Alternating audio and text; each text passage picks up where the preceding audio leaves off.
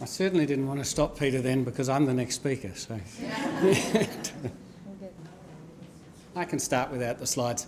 Um, I want to talk today about Tawharanui and the seabird restoration program, program out there, but it's really just a ruse to talk about a new way of recording information from community seabird restoration projects. Um, we've been going for 10 years at Tawharanui now, and in that time, the number of burrows has obviously increased.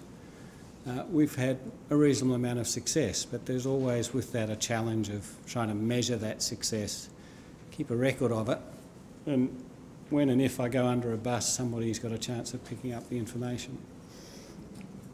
That's about as much as I've got. I need pictures now.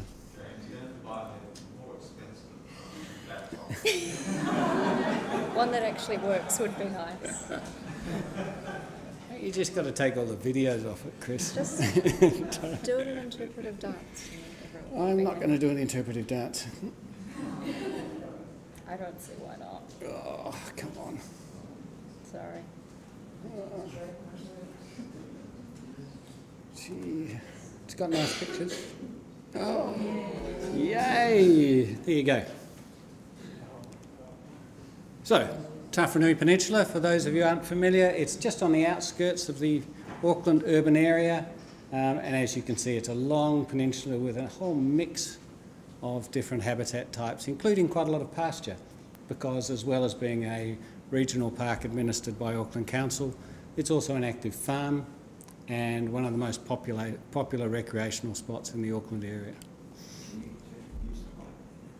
Uh, I can't, it's broke. Sorry, I'll shout. Um, the Tawharanui Open Sanctuary is just under 600 hectares. It's open to the public at all times, day and night. Uh, it was fenced with a predator-proof fence in 2004 and there were two bait drops of Brodifacoum at that time which eliminated virtually all of the pest animals within the, the park. Mice were not eliminated, sadly rabbits not either, but other than that, and that's been backed by an extensive network of traps and bait stations which aims to keep the peninsula predator pest free at all times. Uh, since then, there's been a number of very successful reintroductions of a range of, of uh, birds, um, reptile and fish species into the park, um, and there's also been a number of species that have chosen to uh, return of their own volition. One of those species is a grey-faced petrel.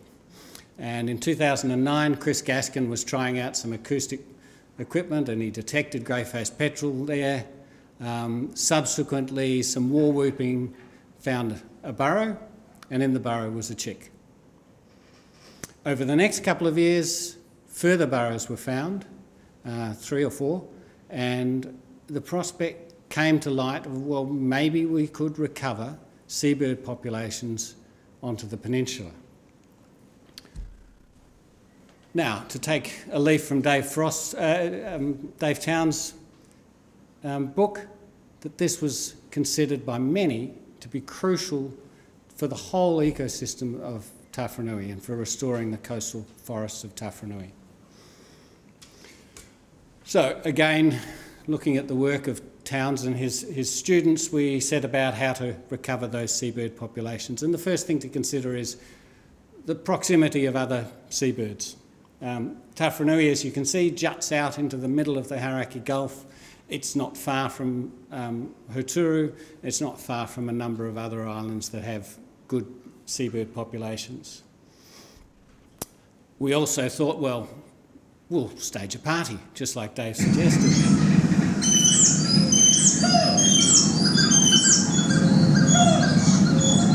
And we'll have those parties go all night, every night, and we'll see what turns up. And very quickly, a lot of birds turned up. We had grey-faced petrel, we had diving petrel, and we had fluttering shearwaters all turn up to the speakers within six months, uh, and bloody rabbits. Um, so this encouraged us enormously. After a few years, I realised that this thing could get quite big, so I'd better start recording what was going on. So I started an Excel spreadsheet, which I thought was the appropriate tool at the time. And you can see in each square I've recorded E for egg if an egg was laid, C for a chick if that egg subsequently hatched, D if it died, A if it was abandoned, and F if we achieved what we hoped would be achieved, which is that it be fledged. And for each of those events, I could make notes, as you can in Excel spreadsheets. About this time, we got really enthusiastic, and with the help of Tim Lovegrove and others, we put in some nest boxes because Tawharanui was once all grazed and the soil depth there is not very good. So we wanted to make it as easy as possible for our new visitors. Things went very well, and, and within a few years, we had diving petrels breeding, we had fluttering shearwaters using a number of the nest boxes, uh, and even some penguins appeared to be happy using some of our nest boxes, even though, though they weren't the target species at the time. So now, 10 years later, we've got good burrowing seabird populations at a number of sites, five main sites. We've got three speaker systems shown there with the stars at Niah Bay, Marine Triangle, and Elephant Point. We've got the original Niah Bay site with uh, a little dot there showing the, the original burrow, uh, and we've got a small population of grey-faced petrels at Eastern Lookout. But that's what my Excel spreadsheet looks like at the moment. And it's frankly unmanageable. so I, I realised I needed a different solution. And I was talking to Kerry Lukes one day, and she was showing me these fantastic maps that she'd produced using the Catch IT program, which the Auckland University Department of Statistics runs. It's set up for community pest control programs. It's got a central data storage and it's got facilities for display and analysis of your data. There's no cost at all to users. They get sponsors to help them run the program and it's used by over 100 projects. Now, I looked at this and I thought to myself, well, we can transpose these ideas, you know, catch IT to seabird IT. A trapline is really just a colony site and a trap can be a nest box or a burrow, and a bait can be a seabird species, and so on. The only difference being this bottom one, whereas trap lines and traps, you have a continuous rotation. So every month you've got an output, you've got an outcome. Whereas with seabirds, throughout the season, you've got different statuses that changes from eggs to chicks to so forth. And at the end of each year, then you've got an, outcome. So there was, there's a little bit of fiddling to be done there. So I was very excited by this, and I, and I contacted Rachel Fewster at um, the Department of Statistics, who runs the Catch IT program. Um, I'm pretty sure she'd already had the same idea because she didn't seem at all surprised when I turned up. In fact, she seemed very ready for me to dump all of my rubbish Excel spreadsheet on her and she was going to turn it into something useful. And this is the start of what we came up with. So and I do emphasise this is still early days and there's still a few rough edges to, to, to iron out. But if you wanted to enter data for a colony site, um, in this case, Marine Triangle is the line, that's the site there, and you go along each of the traps, which are nest boxes or burrows. Um, you can work out whether it's a grey-faced petrel or a fluttering shearwater.